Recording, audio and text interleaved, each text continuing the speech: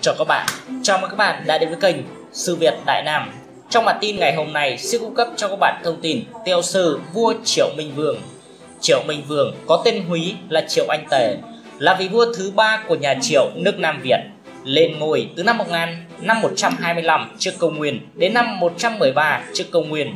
Triệu Anh Tề là con trưởng của Triệu Văn Đế sau khi giúp Văn Đế đánh bại quân Bân Việt, thì vua nhà Hán đã sai trang trở sang Nam Việt, dù Văn Vương, tức Triệu Văn Đế, vào chầu, nhưng đình thần đã xin vua đừng đi và bèn cho thái tử anh Tề đi thay.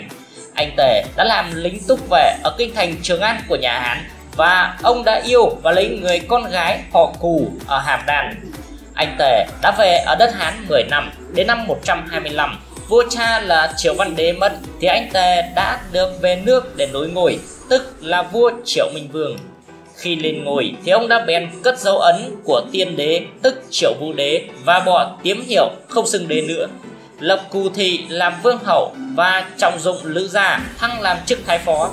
Sau đó thì ông sinh được con trai là Triệu Hưng và lập làm thế tử.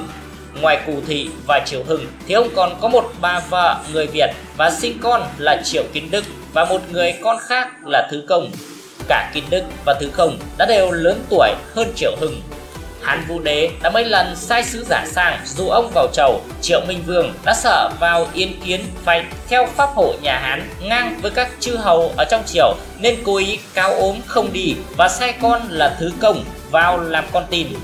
Năm 113 trước công nguyên hoặc năm 115 trước công nguyên thì Triệu Minh Vương qua đời ở ngôi tất cả 12 năm Thế tử Triệu Hưng đã lên ngôi, tức Triệu Ai Vương.